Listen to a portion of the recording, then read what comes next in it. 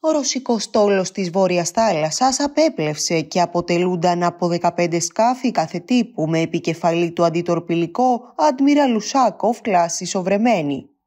Οι ασκήσεις θα είναι σε σειρά σεναρίων και ήδη Νορβηγία, Ηνωμένες Πολιτείες και Βρετανία έχουν θέσει σε επιφυλακή μονάδες για να επιτηρήσουν τις κινήσεις της Ρωσίας.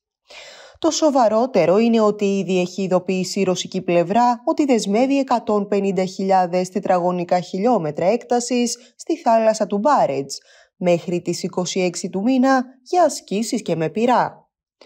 Μάλιστα κάλυψη θα παρέχουν και 15 στρατηγικά βομβαρδιστικά TU-95 και TU-160 που μεταστάθμευσαν στη βάση Ολένια.